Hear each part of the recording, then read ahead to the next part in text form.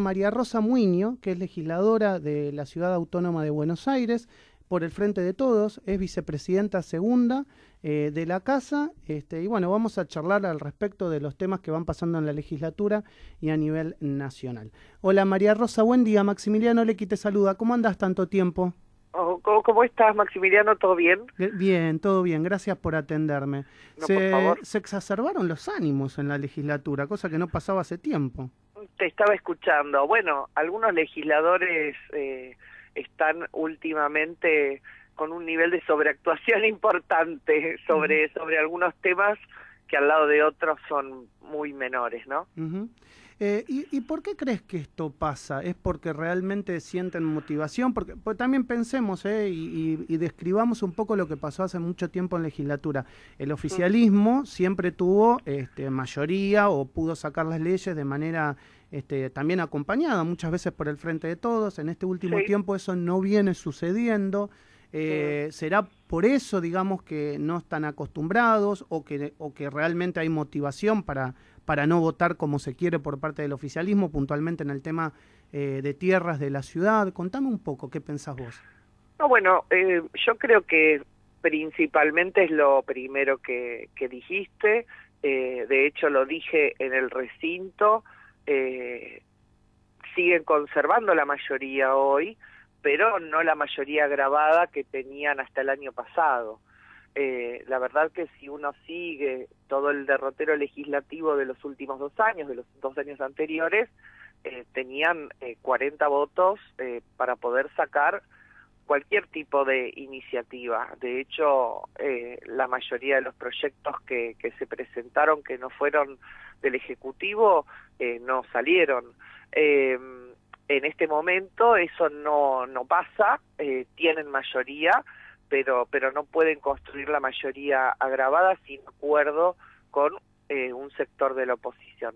Eh, entonces hay como una suerte, creo, hubo una suerte de acostumbramiento a, bueno, podemos dar discusiones, podemos sentarnos a acordar algunas cosas, pero de verdad no necesitamos ese acuerdo.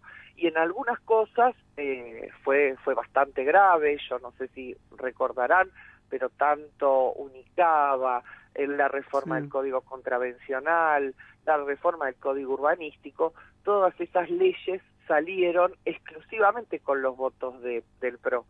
eh, entonces podían hacer una ficción o un acting de sentarse a discutir y acordar, Finalmente el acuerdo no se realizaba, con lo cual las modificaciones propuestas no estaban y podían sacar la ley con los votos propios. Esto no está pasando y sí, se exacerban los ánimos, eso se ve se ve en el recinto en algunas discusiones muy puntuales. Me gustaría meterte en el proyecto, que es el, el, que generó, digamos, todas estas rispideces, que es la venta de tierras en la ciudad de Buenos Aires. Recién yo le preguntaba a Claudio Romero y él nos decía puntualmente que no era una privatización porque era el inicio como lo que pasó en Puerto Madero, ¿no? Es abrir al público, se vota una rezonificación, nos explicaba él, y esa rezonificación lo que va a hacer es acercar al porteño al revés con el río. ¿Por qué este, eh, esto no sería así eh, desde el punto de vista del Frente de Todos y lo que dice el gobierno de la reta este, va en contra de, de lo que querría el porteño?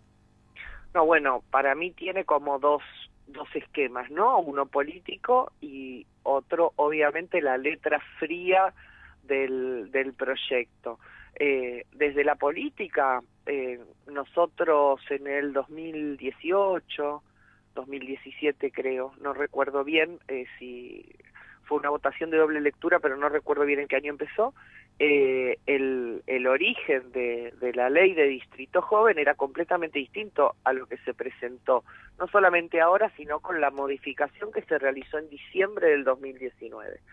Eh, le daba eh, una norma a un sector que estaba concesionado a precio vil desde los años 90, toda la serie de concesiones de, de la zona, eh, para establecer lo que se denominó distrito joven pensando un corredor de esparcimiento, parque público, eh, algunas concesiones sobre eh, cosas que ya estaban establecidas y se le agregaba una posta sanitaria, baños públicos, pensando en una gran zona recreativa. No contemplaba viviendas eh, y no contemplaba eh, la venta de, ningún tipo, de ninguna parcela.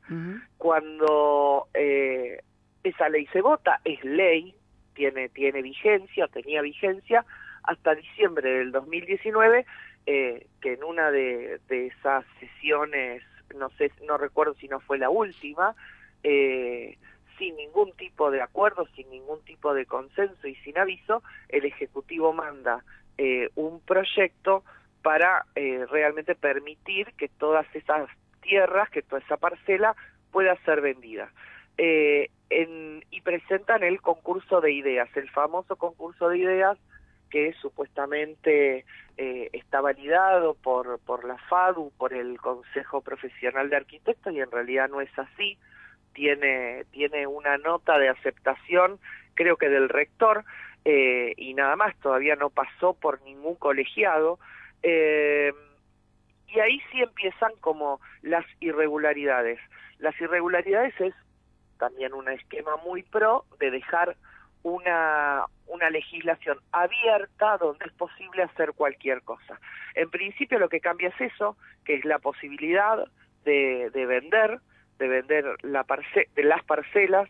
Eh, pero es interesante, lo que, es interesante lo que vos estás explicando porque recién justamente decían que ustedes habían votado este proyecto a favor y vos me estás dando el porqué. Lo que votaron no es exactamente lo que está pasando hoy. No solamente, no solamente lo votamos, sino que las eh, hay un montón de de artículos que nosotros eh, modificamos que se tomaron esto que te decía yo, pensar un distrito de concentración de la actividad nocturna joven con todos los cuidados que requiere eso.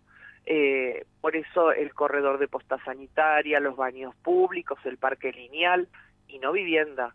Y no vivienda aparte teniendo en cuenta que ahí está la zona aeroportuaria, eh, ayer Ofelia, significativos. Ayer Ofelia Fernández me decía este, en una nota que eh, también estaba la idea de proponer un anfiteatro a cielo abierto.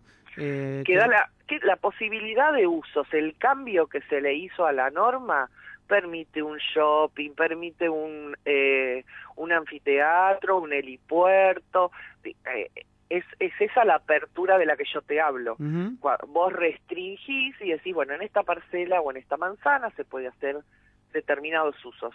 Este, esta es la posibilidad. Lo que hace esta ley es ampliarlo. Entonces dice, acá casi se puede hacer cualquier cosa.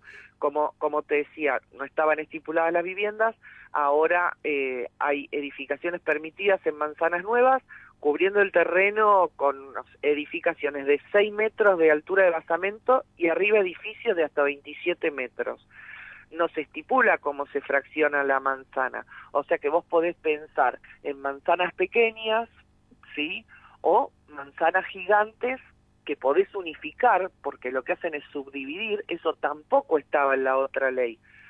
Eh, se establecen estacionamientos en el, en el concurso que hicieron, solamente se permitían estacionamientos debajo de los edificios, que deberían ser gratuitos. Por otra parte, que tampoco está establecido. eh, bueno, esta división de subáreas de integración urbana, eh, que es lo que se agrega a la norma, lo convierte en un proyecto que no tiene relación con, con el entorno. Eh, es lo que te permite pensar que se puede construir, va a estar habilitado por esta ley, eh, un muro frente al río. O sea, la privatización del río, que es lo que estamos diciendo, con escolleras, con edificios, eh, es absolutamente diferente al proyecto original, que ni siquiera es el de diciembre del 2019, porque también se olvidan de decir que con ese proyecto habilitaron la venta. Bien. la eh, venta no estaba prevista en, el, en la ley de distrito joven. Eh, quedó clarísimo. Eh, te pregunto y te cambio de tema por algo importante que va a pasar en estos días, que es un nuevo 17 de octubre, el Día de la Lealtad Peronista. Eh, obviamente completamente distinto a lo que estamos acostumbrados, donde no puede haber movilización, donde no, puede haber eventos masivos. ¿Qué están pensando? Sé que están pensando algo virtual muy interesante y me gustaría que lo cuentes. El, el algo virtual está en marcha, pero también es cierto que muchos compañeros, muchos, muchos, muchos, eh, tienen la necesidad de, de salir a la calle, eh, más allá, digamos, de la necesidad personal que, compartimos todos. Eh, hay, hay una suerte de, de sensación o, o una política que se genera a través de los medios masivos de que el peronismo perdió la calle, esto algunos compañeros lo sienten como una provocación y quieren salir a contrarrestar. Eh, todos eh, estamos entendiendo cuál es la política del, del gobierno para, para que no nos enfermemos, para que el virus no se propague y eso hace que pensemos eh, algunas, algunas otras formas de, de manifestarnos. Hay una, una aplicación, una página que es www 75octubres.ar, donde se va a poder ingresar, elegir un avatar, eh, cada, cada uno de los compañeros y compañeras que quiera participar va a estar representado por una herramienta eh, tecnológica, por un celular, por un televisor inteligente, por una tablet, por una computadora, eh, va a poder seguir el evento en tiempo real, como si estuviera marchando o en la plaza, va a poder elegir un lugar donde establecerse dentro de los límites que tiene siempre eh, nuestro acto del 17 de octubre eh, y va a poder seguir ahí, está previsto alguna serie de eh, shows musicales, eh, cierra con las palabras de, de Alberto, eh, de nuestro presidente, eh, en el Salón Felipe Vallés en la CGT, para después compartir en el cierre eh, la marcha insignia de nuestro partido. eh, esto puede llegar a estar combinado con, con alguna con alguna caravana de autos que es lo que se está discutiendo estamos discutiendo en estas semanas eh, bueno ante la necesidad de dar respuesta a muchos compañeros es interesante que quieren esto que volver al espacio público Claro, en esta, en- y además también porque hay una realidad, porque el gobierno tuvo este, entre seis, siete u ocho marchas, como le quieras poner, en su Sí. contra, y, y, bueno, obviamente hay mucha gente que siente, bueno, estamos, estamos perdiendo, digamos, la, la, la calle, en, lisa y llanamente, Sí. ¿no? yo eh, personalmente creo que no que no es tan importante eh, que es un hecho simbólico eh, no hace falta ponerse en esta pelea de quién es el dueño de la calle. La verdad es que hoy la calle para todos es al mismo tiempo el lugar con menor posibilidad de contagio pero si vos no respetas las distancias personales se convierte también en una en una gran eh, masividad de contagios. Claro. es paradójico. Eh, nosotros priorizamos el cuidado eh, por eso la única forma para nosotros de, de volver al espacio público es eh, conservando las distancias en auto dos personas con tapaboca. Eh, creo que si se dan esas condiciones eso sería posible combinar. Bien, María Rosa, te agradezco siempre por atenderme a mí, No, a este favor. programa, a la radio, eh, sos muy amable, ¿eh? te mando un No, abrazo siempre grande, es un gusto. espero verte pronto, un gran abrazo. E igualmente, un ¿eh? abrazo. Un abrazo muy grande. Eh, estamos hablando con María Rosa Muñoz, este, gracias por esta comunicación. Ella es vicepresidente segunda de la legislatura porteña, es legisladora del Frente de Todos en la mañana del arranque aquí en Radio Sónica.